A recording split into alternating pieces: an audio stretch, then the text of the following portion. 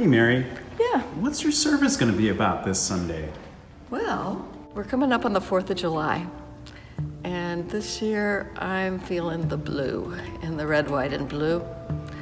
I think there might be some other folks who are feeling that way too. You know, it's okay to be miserable and even angry, but I also want us to think together about what it is we can hold on to, what we can still love about this country. Like, I love Walt Whitman, for example, and he saw horrible things when he served as a nurse in the Civil War, and he still loved America.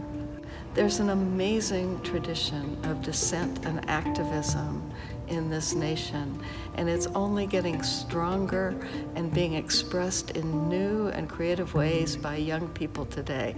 That gives me hope. What gives you hope? What do you still love about America?